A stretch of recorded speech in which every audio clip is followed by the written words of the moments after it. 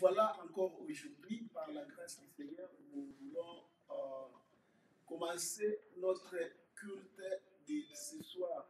C'est encore un moment merveilleux, comme nous le savons. Nous voulons euh, ensemble bénéficier encore de ces instants pour que nous puissions euh, nous approcher devant le Seigneur. Nous voulons commencer euh, cette partie par euh, une petite prière. Et soyez connectés, vous tous qui êtes branchés sur Zoom. Et comme j'ai dit, nous avions envoyé des invitations à nos frères et sœurs qui sont en train de nous joindre. Et j'espère que toi aussi tu l'as fait. Si tu l'as fait, gloire à Dieu, que le Seigneur te bénisse. Et nous sommes aussi avec nos frères et sœurs qui sont sur Facebook. Que Dieu vous bénisse et que sa grâce vous soit accordée au nom de Jésus. Amen. Et comme d'habitude, comme nous disons, là où vous êtes, faites de l'endroit où vous êtes un lieu de culte, un lieu de prière, et que la grâce de Dieu vous atteigne là où vous êtes. Que Dieu vous bénisse, soyez branchés et soyez tous euh, concentrés pour réussir encore cette soirée et participer pleinement à la grâce que le Seigneur dispose ou que le Seigneur compte envoyer euh, ce soir encore, comme il le fait chaque fois que nous nous assemblons autour de sa parole et chaque fois que nous nous présentons au devant de sa face. Amen. Alléluia, Amen. Amen. Alléluia, Amen. Amen. Alléluia.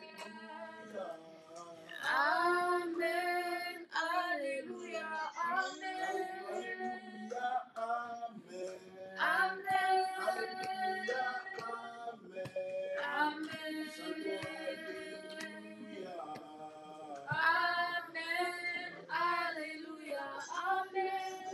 Oh, gloire au Seigneur.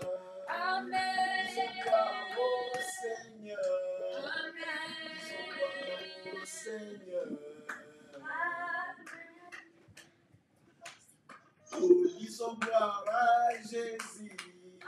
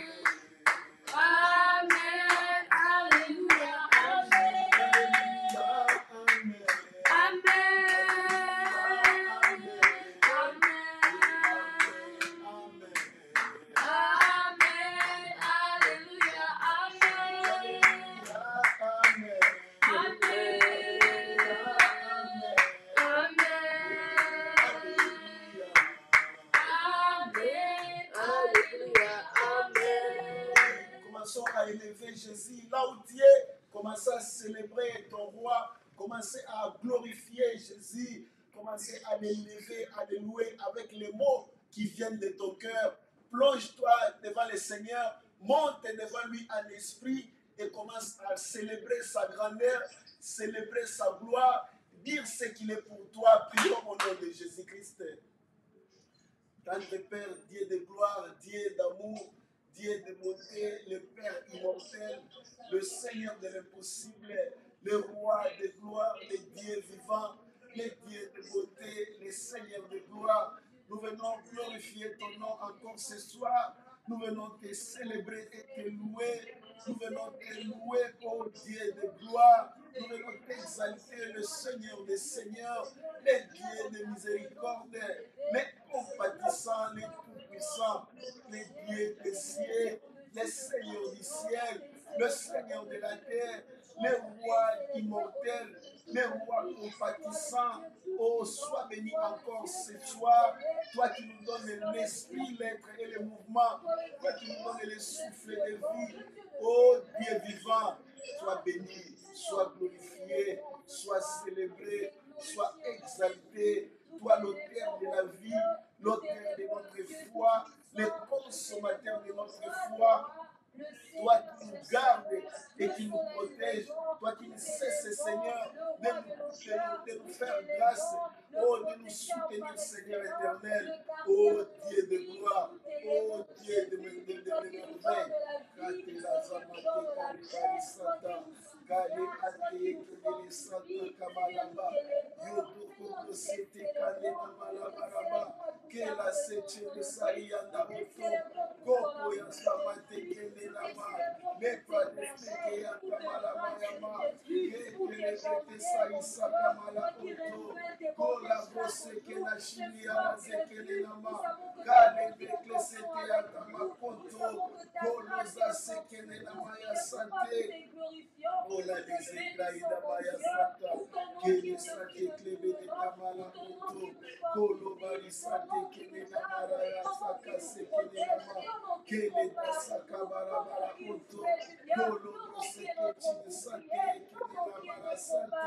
sois béni le père glorieux sois loué le Seigneur de l'impossible sois célébré le Dieu de vie.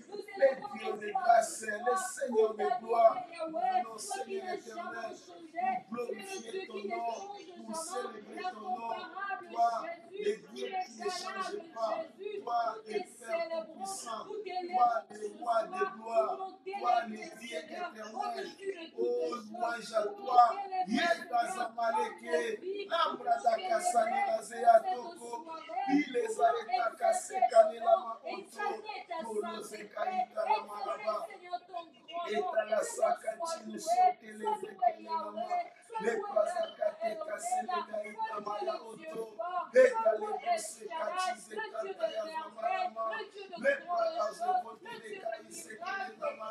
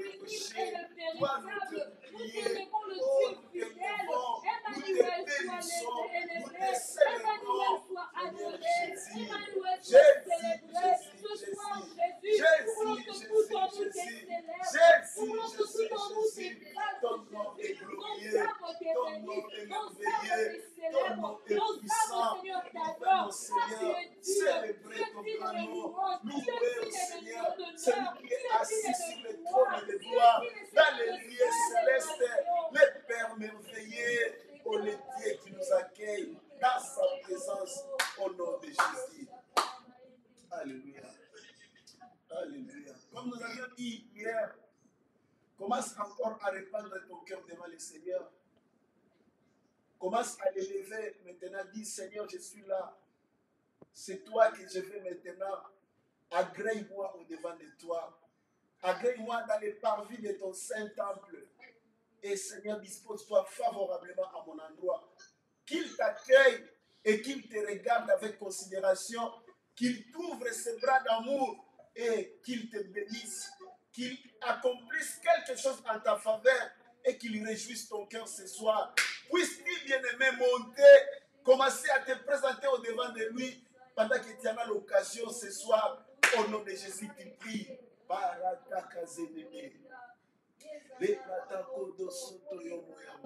Je viens encore, Seigneur, ce soir, au devant de ton, de ton temple, Seigneur. Dans ta présence, nous aimons venir. Dans ta présence, nous voulons apparaître. Dans ta présence, Seigneur, oh Dieu de gloire, nous voulons être. Oh, être, Seigneur, au devant de toi, le Dieu vivant. Au devant de toi, le Dieu véritable. Au devant de toi, le Père glorieux. Au devant de toi, le Dieu de merveille. au-devant de toi, le puissant de Jacob. Seigneur, agrée. Seigneur, agrée. Oh Père, agrée. Dieu de merveille, agrée. Accepte-nous avec faveur au-devant de toi. Accepte ton peuple avec faveur au-devant de toi. Avec ce culte, Seigneur, que nous voulons faire en ton honneur ce soir. Au nom de Jésus, qui sonne le cœur et les reins. Accepte et vois, oh Dieu de gloire, comment est-ce que nous répandons nos cœurs au-devant de toi? Comment est-ce que nous répandons nos cœurs au-devant de toi? Toi, le Dieu fidèle, toi, le Dieu des armées, toi, le Dieu compatissant, toi, le Dieu incomparable, toi, le Dieu inégalable, toi, le Dieu insondable, toi, le juste, toi, le fidèle, toi, le merveilleux, toi, le Dieu grand, toi, le Dieu redoutable.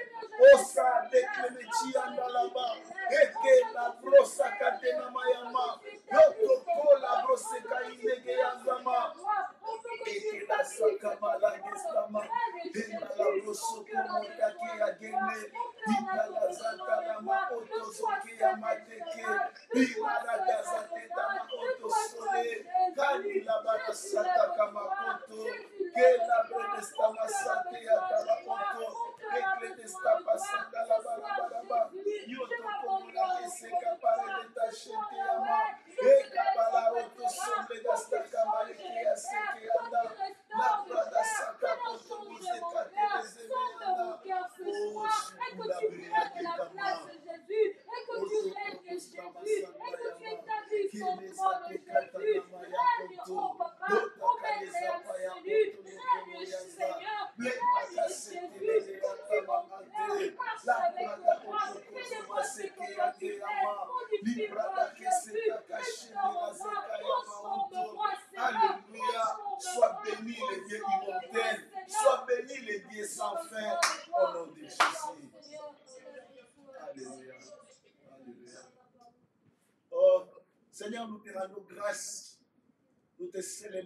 ce soir.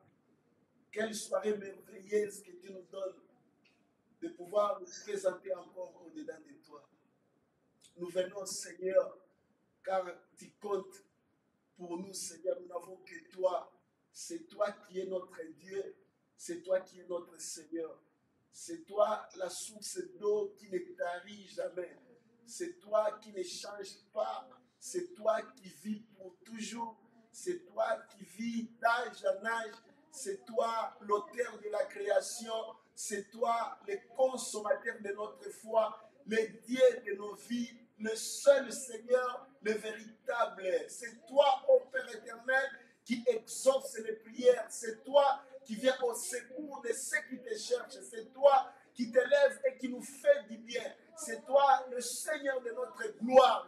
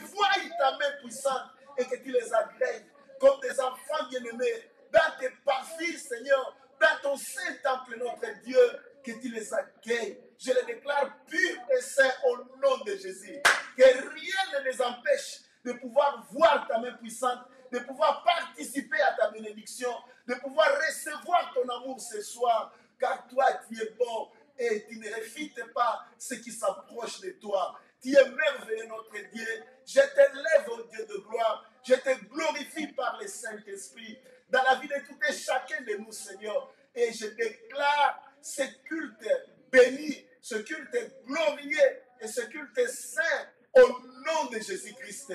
Que le sang de Jésus-Christ purifie tout et chacun de nous. Et que la gloire du nom de Jésus-Christ affecte tout et chacun de nous. Là où vous êtes, que la gloire du nom de Jésus-Christ vous touche. Et que la grâce du Saint-Esprit environne l'endroit où vous faites votre culte. Au nom de Jésus. Dieu. Recevez la bénédiction du Seigneur. Au nom de Jésus-Christ. Nous disons tous merci, Seigneur Jésus-Christ. Nous disons tous gloire et louange à toi, Seigneur Jésus-Christ. Amen. Nous sommes en train de t'acclamer. Acclame le Seigneur avec joie là où es.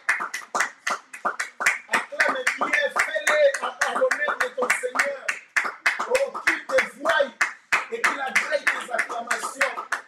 Qu'il te voie et qu'il te soit favorable au nom de Jésus.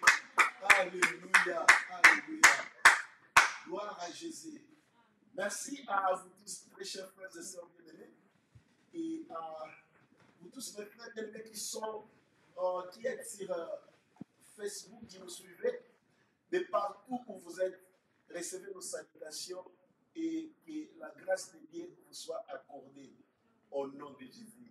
Et à vous, mes bien-aimés qui êtes sur Zoom, nombreux qui vous êtes aussi, que le Seigneur vous bénisse et qu'il vous accueille avec faveur dans sa présence pour la gloire de, ton Seigneur, de son Seigneur. Nous poursuivons, n'est-ce pas, euh, les cours de l'exposé de la parole que nous avions présentée hier. J'ai sollicité ton attention, premièrement, afin de t'éviter toute confusion. Deuxièmement, afin que si tu es attentif, que tu arrives à comprendre, à comprendre. La compréhension est tellement nécessaire, ça vaut vraiment la peine que tu comprennes, parce que si tu comprends, c'est alors que la parole de Dieu aura des effets en toi. Et le diable ne saura jamais, alors jamais, te ravir cette parole. Si tu ne comprends pas, cette parole n'aura aucun effet dans ta vie. Et si la parole de Dieu n'a aucun effet dans ta vie, cela veut dire que tu ne verras pas la gloire de Dieu. Ça sera un temps que tu vas gaspiller comme ça. Et ça sera très mal que tu gaspilles du temps dans la présence du Seigneur. Je prie que par la grâce de Dieu, que le Seigneur lui-même puisse avoir ton attention au nom de Jésus. Et que tu comprennes. Et que la confusion tombe parce qu'il y a un message qui est précis, un message qui est ciblé, que le Seigneur veut t'instruire afin que, au travers de ce message, que tu arrives à cerner quelque chose qui t'amènera à une délivrance et tu verras, comme nous avons dit, les résultats, ce n'est pas de gêner. Les résultats, ce n'est pas de passer ces temps ici. Le résultat, c'est voir un changement dans les cours de notre vie. Et nous voulons que nous tous, nous puissions nous focaliser, n'est-ce pas, sur cet objectif ou sur ces résultats que nous cherchons. Amen. Alors, travaille avec moi pour que tu atteignes ces résultats. Je prie et je sais que le Seigneur qui nous donne euh, cette, euh, cette force, qui nous donne la révélation par son esprit, l'esprit du Seigneur est là et il va conduire cette parole afin qu'elle atteigne ses objectifs.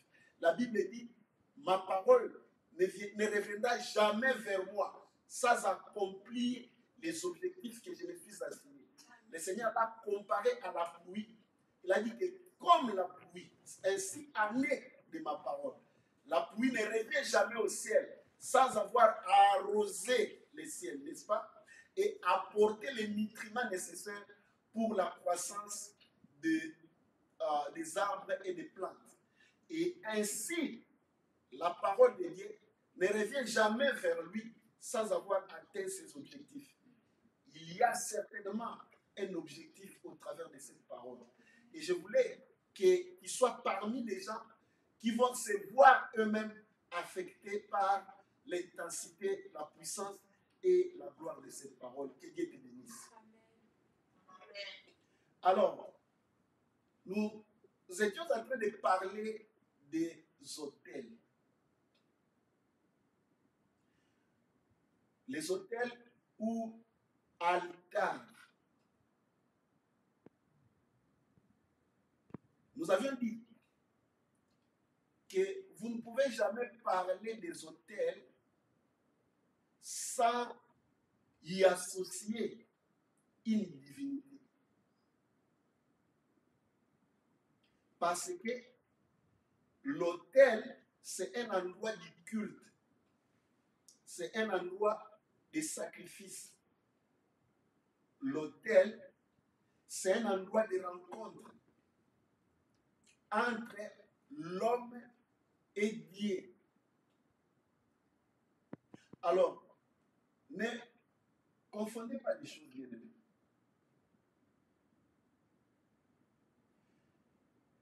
Lorsqu'on parle de Dieu, beaucoup d'entre nous, nous sommes vraiment innocents. Lorsqu'on parle de Dieu, paf, nous nous référons directement au Dieu de la Bible, au Dieu suprême. C'est de façon vraiment consciente et de façon instinctive, si je peux dire comme ça. Mais il y a plusieurs divinités.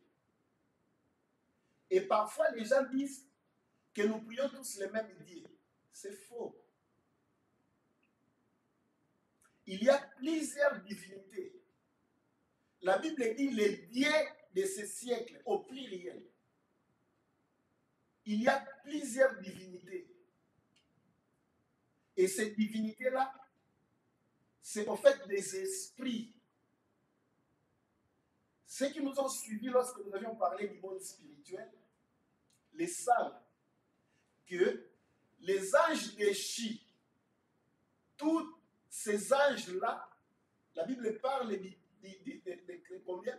De un tiers, n'est-ce pas Des anges de Dieu que le diable a si séduire avec lui et il fit chasser avec eux lorsque l'ange Michael les chassa du lieu où le trône de Dieu était dans les cieux.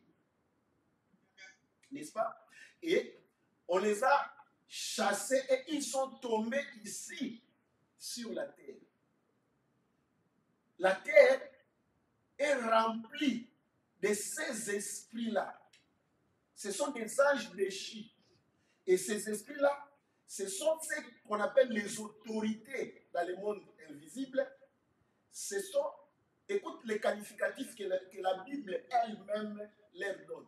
Ce sont des autorités. Ce ne sont pas des minables. La Bible les appelle aussi les principautés. Ce sont des princes. Quand on parle des princes, cela veut dire ce sont des dominateurs. Ce sont des qualificatifs que la Bible elle-même utilise à l'endroit de ces esprits-là. Ce ne sont pas des petits esprits. Ils ne sont pas impuissants. Ils sont investis d'autorité et d'autorité princière. On les appelle les princes de ce monde. Leur roi ou leur maître, leur seigneur, c'est Lucifer, Satan ou le diable lui-même, qui est le principal prince de ce monde. Et il a avec lui une cohorte, une horde des princes et des autorités qu'il a établis par-ci, par-là. Ils sont devenus les dieux de ce monde. Et ce sont eux qui influencent les hommes en matière de religion et en matière de spiritualité. Écoutez très bien ceci. Que cela ne t'échappe pas. Et nous avions dit que l'être humain, l'homme que nous sommes, l'homme a été créé pour le seul but de pouvoir adorer Dieu. Dieu a mis dans l'être humain que nous sommes les facultés de pouvoir l'adorer. L'homme est capable d'adorer. Tel que tu es là, tu es capable d'adorer.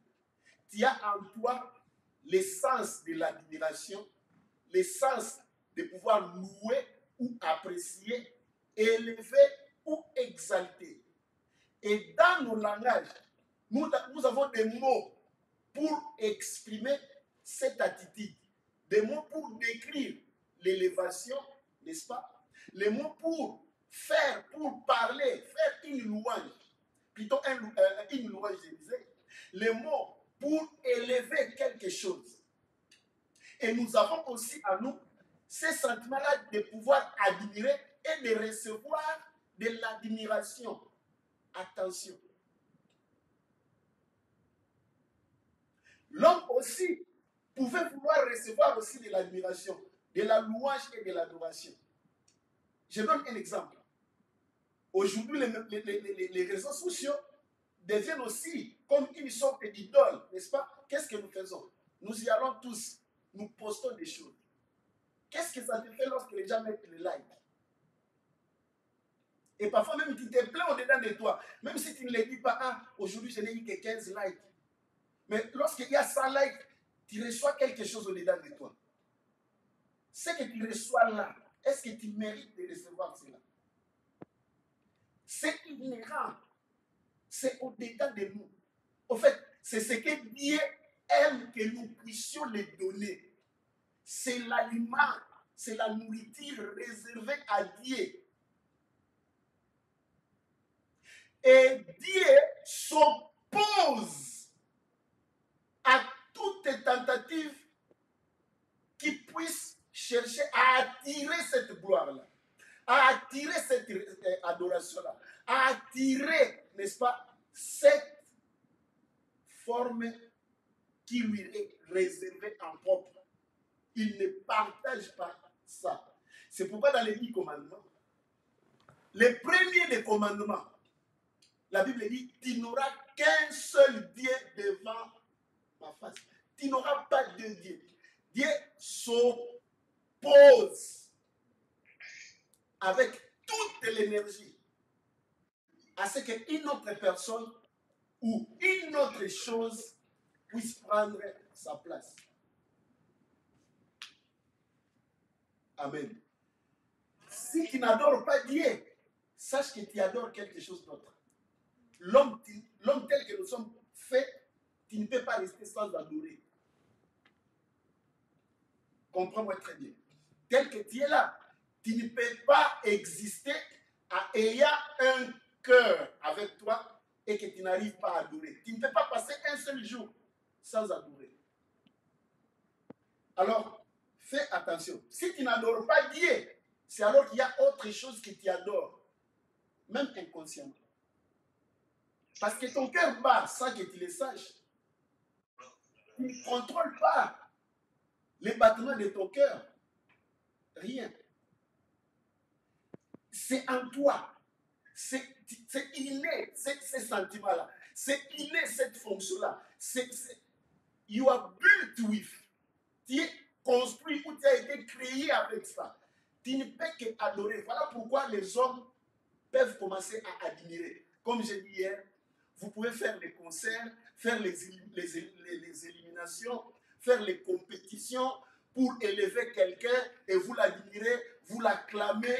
Les hommes commencent à lui donner des, éloges, tout ça.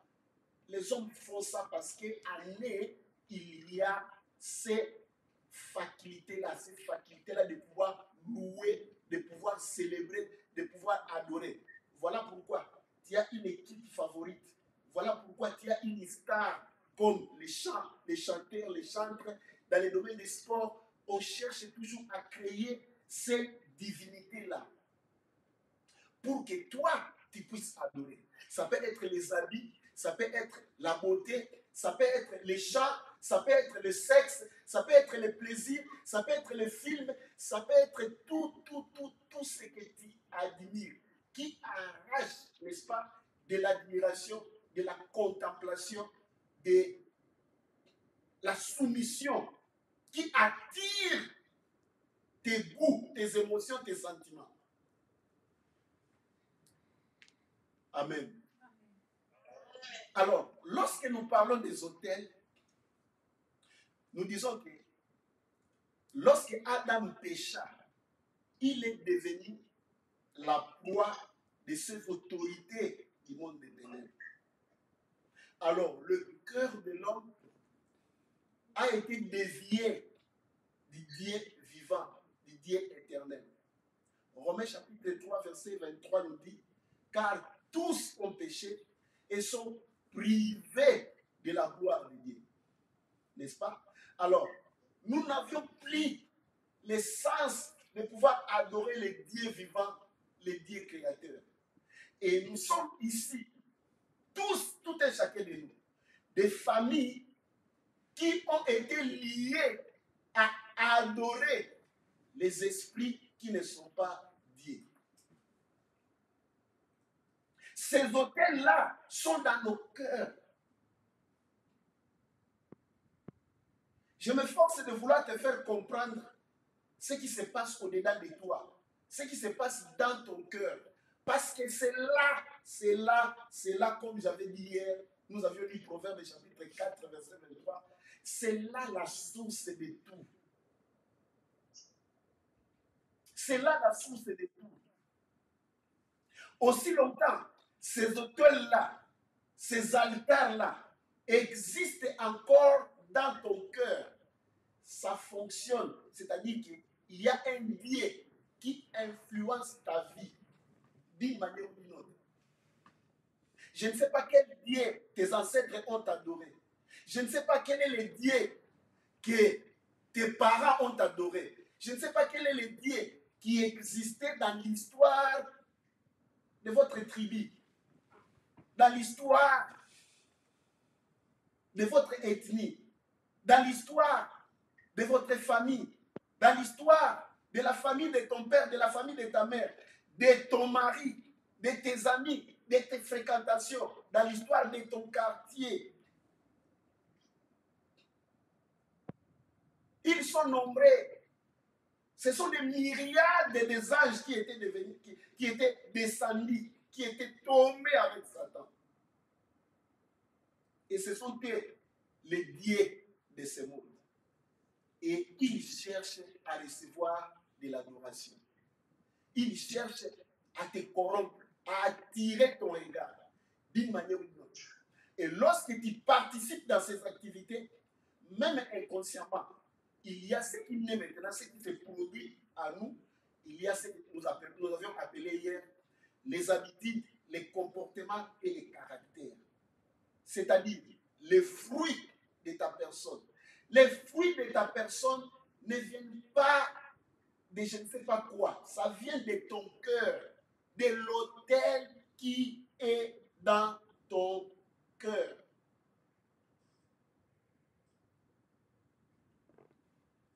Comprends cela très bien. Rien que la compréhension, si tu comprends ça, déjà tu es prêt à être délivré. Déjà tu es prêt à voir un changement. C'est-à-dire que la parole va commencer à avoir des effets en toi.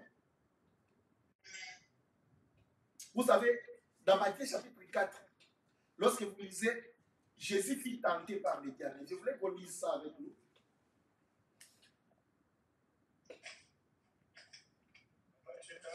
Matthieu chapitre 4.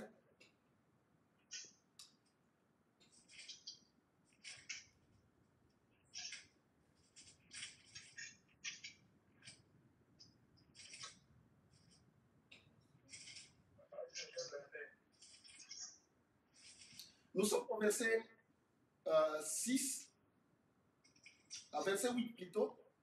La Bible dit ceci. Oui, papa, euh, la sœur Carotte, il peut lire pour nous pour que ceux qui sont sur Facebook l'écoutent.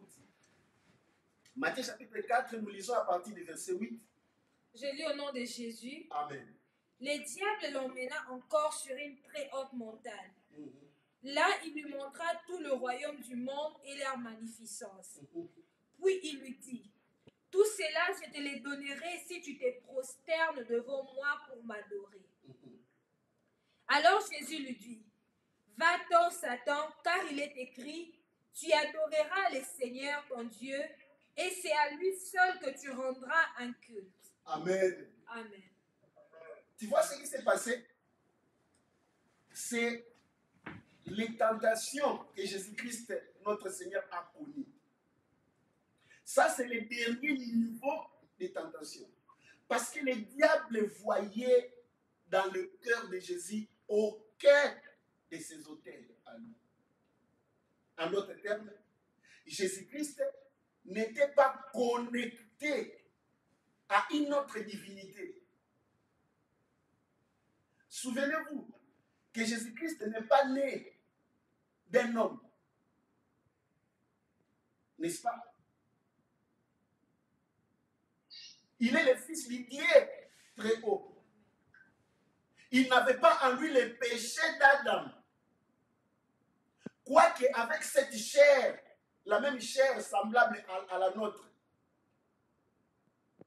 dans son cœur, il n'y avait pas une influence des dieux de ce siècle, des dieux de ce monde. Mais pas toi, pas moi, bien-aimé. Nous sommes passés par là avant de devenir chrétiens. Avant de connaître Dieu, la Bible dit nous étions morts, nous étions morts par nos offenses et nous marchions dans la rébellion. Nous étions influencés par les dieux de ce siècle. Tous ceux qui sont encore païens, tous ceux qui meurent dans le péché, nous avons pitié d'eux et nous évangélisons parce que nous savons que ils sont influencés par les dieux de ce siècle. Mais nous avons reçu Jésus-Christ. Il y a encore des hôtels que nous devons renverser, qui subsistent encore en nous et qui empêchent que la gloire de Dieu soit totale dans nos vies. Le diable a vu que dans le cœur de Jésus, il n'y avait pas son hôtel. Et il le proposa. Il lui dit ceci. La Bible dit, le diable le transporta sur une montagne très élevée, afin qu'il voie bien. Il lui montra, il dit, il- la Bible dit, et lui montra tous les royaumes du monde et leur gloire. Pas le royaume des cieux, pas le royaume du ciel, ou pas le royaume du monde invisible, non. Le royaume de cette terre. Il lui a certainement montré les royaumes comme les États-Unis, comme la Russie, comme le Japon, comme tout ce qu'il y a de gloire en ce, à ce monde ici. Il a montré peut-être Hollywood.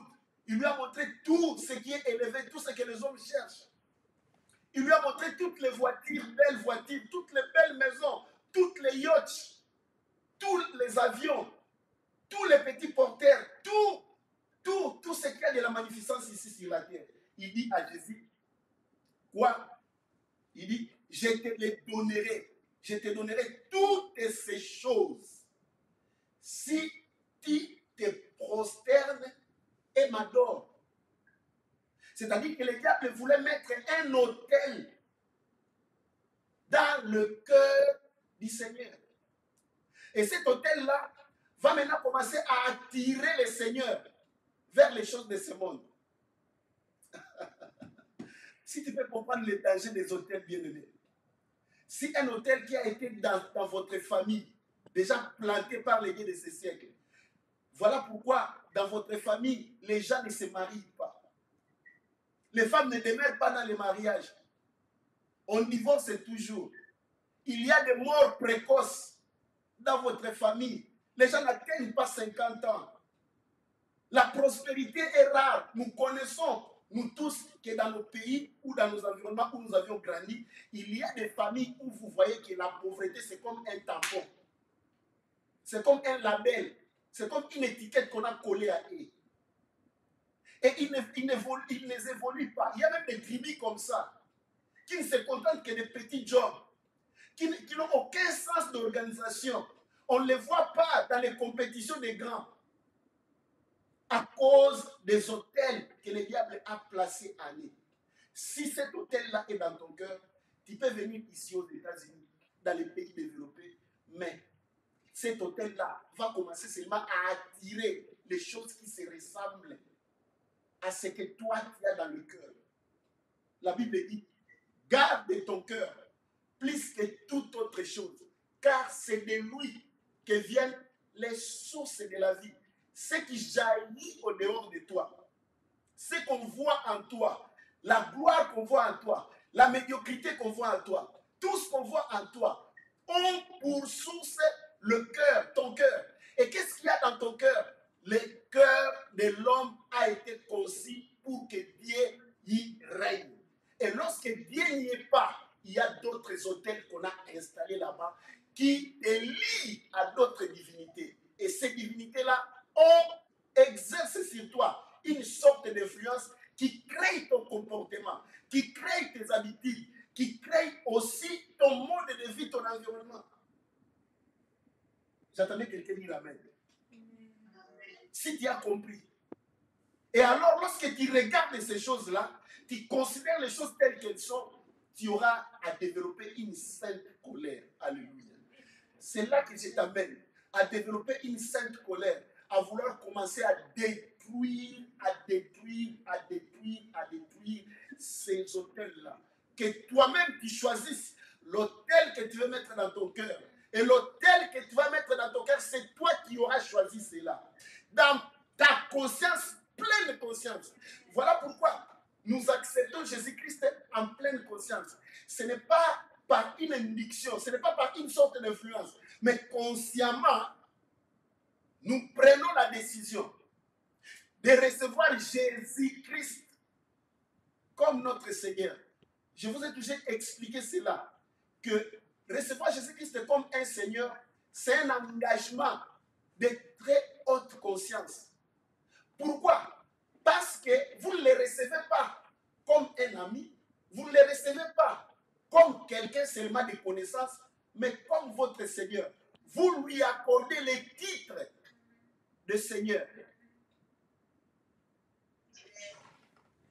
Alors qu'il soit le Seigneur, à partir du moment où moi je suis, maintenant j'appartiens à un autre. Alléluia. Je me dis que moi j'appartiens maintenant à quelqu'un qu'on appelle Jésus Christ. C'est lui qui est mon propriétaire. Il est le propriétaire de ma vie. Il, a, il est le propriétaire de toutes les cellules de mon corps. Il est le propriétaire de mon cœur. Je voulais qu'il règne dans mon cœur. Je voulais qu'il soit établi dans mon cœur. Je voulais qu'il domine dans mon cœur. Et que lui seul ait mon attention. Que lui seul ait toute ma consécration. Que lui seul ait toute mon, tout, toute mon admiration. C'est Jésus. Regarde-toi, bien-aimé, chrétien que tu es jusqu'aujourd'hui. Est-ce que Jésus est ton Seigneur? Avec, il est, Dans quelle intensité il est ton Seigneur? Est-il le Seigneur de ton temps? Tu es prêt à sacrifier ton temps pour lui? Ou bien il y a encore une compétition entre Jésus et TikTok, entre Jésus et Facebook, entre Jésus et Instagram? Voilà pourquoi nous voulons populer les réseaux sociaux de la parole de Dieu. Afin que chaque fois que les hommes vont sur nos pages, ils ne trouvent que la parole de Dieu. Ils ne trouvent que la gloire de Jésus. C'est malheureux, c'est pitié. Pour toi, un enfant de Dieu, s'il te mire dans les réseaux sociaux, on voit rarement poster les choses de Dieu. Alors, qu'est-ce qui attire ton admiration? Tu exposes qui? Tu fais le marketing de qui? Pour qui tu travailles? Je voulais que tout change comme, comme, comme, ça dans ta vie. Que les choses commencent à shifter. Que les choses changent. Que tu acceptes, que tu sois conscient que tu avais accepté d'être sous la seigneurie, sous la domination de quelqu'un. Il est le maître de ton argent. Il est le maître de ton temps. C'est auprès de lui que tu ne résistes pas. C'est auprès de lui que tu ne dis pas non. Mais regarde-toi. Il y a beaucoup plus de choses qui attirent ton attention que Jésus. Il n'est pas encore ton Seigneur. Tu es prêt à abandonner tout pour le boulot, mais pas pour, pour ce qui concerne Jésus. Tu veux seulement que le Seigneur agisse dans ta vie, mais toi tu ne veux rien faire. Est-ce qu'il est Seigneur ou c'est toi qui es son Seigneur? Parce que c'est toi qui te vois que c'est toi Seigneur, tu veux le commander. Qu'il fasse ceci, qu'il fasse cela. Et tu n'adores même pas. Depuis le matin, tu as adoré Jésus combien de fois? Combien de fois tu lui as montré de l'admiration?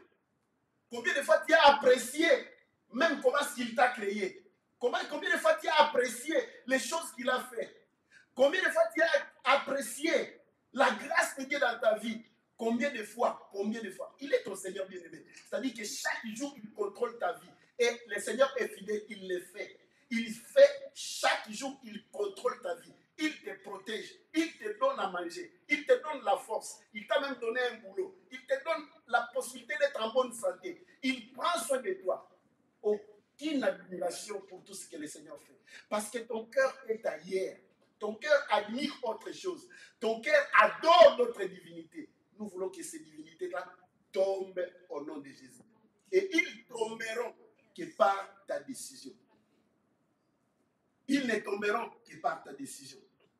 Aujourd'hui, tu as le choix à faire pour faire tomber tous ces hôtels-là qui règnent encore et qui influencent ta vie d'une manière ou d'une autre. Au nom de Jésus. Amen. Amen. Alléluia. Amen. Alléluia. Amen. Je pense que quelqu'un me suit avec beaucoup d'attention. Et si c'est ton cas, que le Seigneur te bénisse. Nous voulons. euh, Alléluia. Nous voulons lire quelque chose dans le livre de Matthieu, chapitre 15, verset 13. Matthieu, chapitre 15, verset 13, la Sainte Parole. Matthieu, chapitre 15, verset 13. Je lis au nom de Jésus. Amen. Il répondit Jésus répondit Toute plante que n'a pas plantée mon Père céleste sera déracinée. Écoute ceci. Toute plante qui n'a pas planté mon Père céleste sera déracinée. J'aime cette déclaration. On a planté ça pour cette plante. Amen. Amen. Écoute, le Seigneur parle de plantes. C'est-à-dire qu'une plante a des racines. Et on reconnaît une plante par ses fruits. Amen. Comme c'est une plante qu'on a plantée, qui n'a pas été plantée par Dieu, qui n'a pas été plantée par son Père, le Seigneur est conscient que dans la vie des gens, il y a des plantes qui restent encore, qui doivent être, déracinées. Ces plantes-là ont leurs racines dans nos cœurs et qui produisent des fruits. Leurs fruits, c'est ce que nous vivons, les conséquences que nous vivons dans nos vies. Ça peut être ton comportement, ça peut être ton caractère. Ces fruits-là, ça peut aussi être le mode de vie que tu vis. Écoutez, c'est tout ce qu'il y a dans ton cœur qui se manifeste au dehors. C'est tout ce qu'il y a dans ton cœur qui révèle ou qui révèle ce qu'il y a dans ta vie. Ta pauvreté, bien-aimé, a une racine, a une source dans ton cœur. Les échecs que tu connais, les réussites que tu connais, l'élévation que tu connais aujourd'hui, tout, tout, tout ont une racine, ont une source dans ton cœur. Ne fouille pas encore ailleurs. Lorsque nous allons parler des, des facteurs externes, c'est-à-dire les forteresses, nous allons en parler plus tard, les facteurs externes. Ces facteurs externes ne peuvent avoir de l'influence que s'il y a quelque chose à l'interne qui les attire, qui nous lie à eux. Voilà pourquoi nous voulons d'abord dépouiller, balayer nos cœurs, qu'il ne reste que Jésus-Christ qui ait la place prépondérante dans nos vies, dans nos cœurs. Et la vraie adoration va commencer à jaillir. Lorsque cette adoration va commencer à jaillir, Dieu sera le Dieu de ton cœur, il va régner dans ton cœur et tous ces hôtels-là vont disparaître. Tu verras comment. Un, dans ton comportement, il y a des choses que tu commences à abandonner facilement. Il y a des habitudes qui commencent à, à- disparaître dans ta vie. Écoute bien aimé, le Seigneur est merveilleux, le Seigneur transforme. Amen. Dès que tu donnes ton cœur au Seigneur, il y a des gens qui étaient des colériques, qui sont devenus des gens doux. À- Au point que tu ne vas plus les reconnaître. C'est ce que le Seigneur fait. Lorsque ces hôtels tombent, Alléluia. La fatigue que tu avais pour le culte, pour les choses de Dieu, tu vas commencer à avoir une force extraordinaire. Tu deviens zélé pour les choses de Dieu. La honte que tu avais à évangéliser va tomber et tu te verras toi-même revêtu de la gloire de Dieu. Tu vas commencer à parler de Jésus avec fougue. Amen. Amen. Ta consécration pour Dieu va augmenter de façon exponentielle et tu vas t'étonner toi-même. Parce que le Seigneur commence à être enraciné, allié et place de ces hôtels-là que le diable avait plantés, qui provenaient de tes ancêtres, qui provenaient de ton, de- de- de- du milieu où tu as grandi. Écoute l'avertissement des Jean. L'apôtre Jean dit ceci, Jean chapitre 5, verset 21. 1 Jean chapitre 5, verset 21. Nous allons lire avec euh, euh, la sœur Carole. 1 Jean chapitre 5, verset 21. Lisons rapidement pour que nous puissions clôturer. 1 Jean chapitre 5, verset 21. Je lis au nom de Jésus. Amen.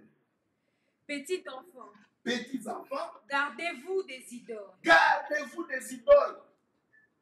C'est un avertissement. Parce qu'il y en a. Et lorsqu'on dresse un hôtel, j'avais dit, il y a une divinité. Ces divinités-là se représentent matériellement par des idoles. Ce ne sont pas les idoles seulement des matières, des matières que, que vous voyez, les statues. Parce qu'aujourd'hui, comme il n'y a pas de gens qui adorent les statues, on croit qu'on est à- à l'abri des idoles. Ces idoles-là sont remplacées par des choses qui attirent tes regards, qui attirent ton admiration, qui attirent ton attention et qui combattent avec Dieu. Au lieu que Dieu règne dans ta vie, au lieu que les choses de Dieu deviennent prioritaires dans ta vie, il y a autre chose. Peut-être ton emploi, peut-être tes ambitions, peut-être tes enfants, peut-être ton mari, peut-être l'argent, peut-être ta beauté, peut-être tout ce qui prend la place de Dieu, tout ce qui, qui t'empêche d'être beaucoup plus attiré à Dieu. Peut-être c'est le travail, peut-être que c'est les dollars, peut-être, peut-être, peut-être, ce sont des idoles. Et ces idoles-là ont mis leur altar, leur hôtel dans ton cœur et qui empêchent la gloire de Dieu d'apparaître et d'être agissante dans ta vie. Je pense que es averti. J'ai voulu simplifier ces choses de manière à te donner parce que nous voulons être pratiques, nous voulons être pragmatiques. Nous ne voulons pas vous donner beaucoup de théories avec des références bibliques. C'est bien de le faire et nous le faisons chaque fois quand nous voulons enseigner. Mais nous avons des objectifs à atteindre pendant ces mois. Pendant ces mois, nous voulons exposer les choses de façon succincte et pragmatique pour que te, provoquer en toi une colère sainte et que tu te rendes compte qu'il y a quelque chose qui influence ta vie de la manière dont Dieu ne veut pas. N'est-ce pas? Et que prenant conscience de cela, que tu commences à exposer ton cœur auprès du Seigneur. C'est ce que nous allons faire encore aujourd'hui. Exposer notre cœur devant le Seigneur. Lui dire, tu es Seigneur, commence à régner. Commence à attirer toute mon attention. Commence à recevoir toute mon admiration.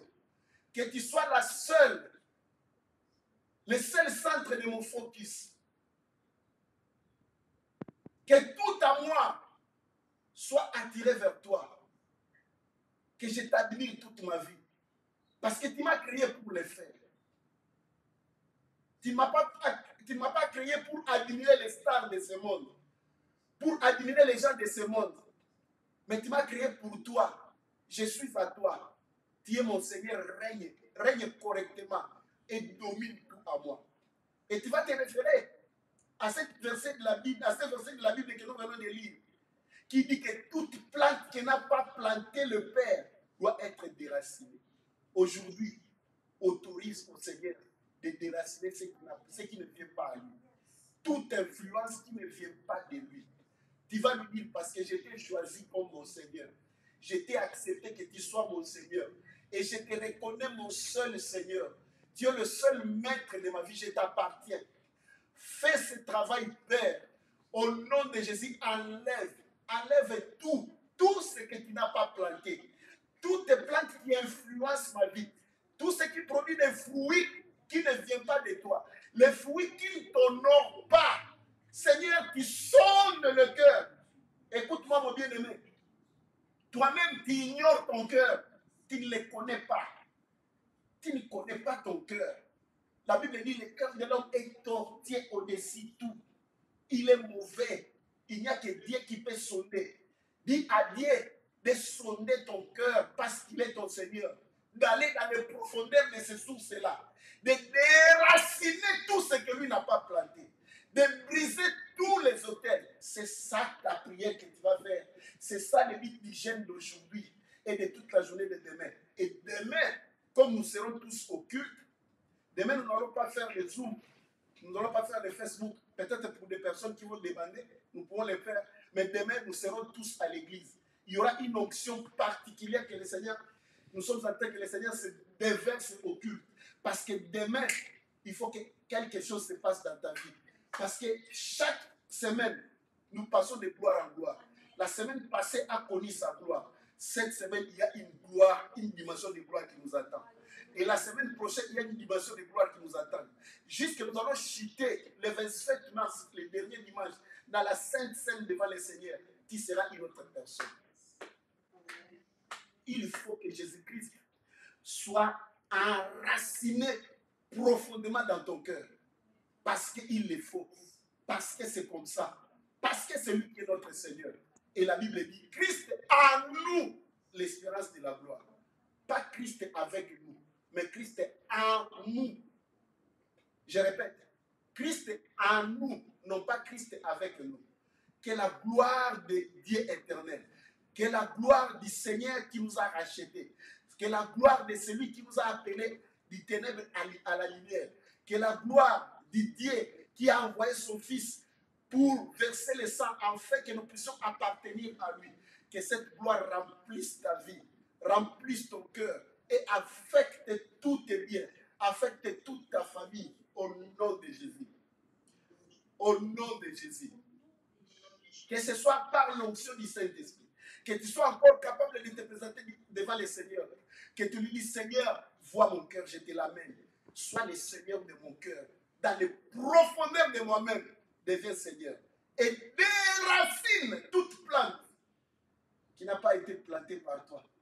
Tout hôtel qui subsiste encore, qui attire les influences négatives dans ma vie. Que cela tombe. Je te donne l'autorité. Tu peux le faire. Je ne peux pas voir mon cœur. Je ne connais pas ce qui se passe dans mon cœur. Au-dedans de moi, je ne connais pas. Lorsque j'ai naquis, j'étais un bébé, je ne savais pas ce qu'on a fait. Je ne connais même pas les origines, mes origines complètement, pour voir ce qui s'y était passé. Comment est-ce que mes ancêtres ont adoré les idoles? Je ne connais pas les connexions avec les divinités négatives. Mais je t'ai choisi comme mon Dieu. J'ai la chance de te connaître Jésus. J'ai la chance de te rencontrer le Seigneur de ma vie. Sois effectivement Seigneur. Règne dans mon cœur. C'est la prière que j'attends que quelqu'un commence à faire maintenant. C'est la prière que je t'attends faire. C'est la prière que je veux que tu fasses.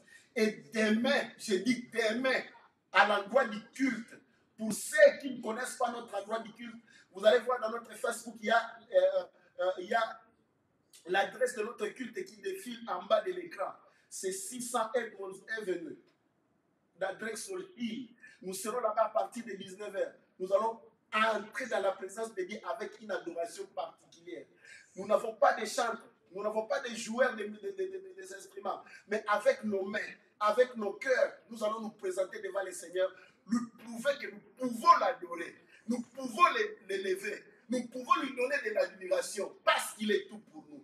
Que le Seigneur te bénisse et que cette soirée soit bénie, que tu aies la force d'évacuer à la prière et que ta prière fasse ses effets dans ta vie.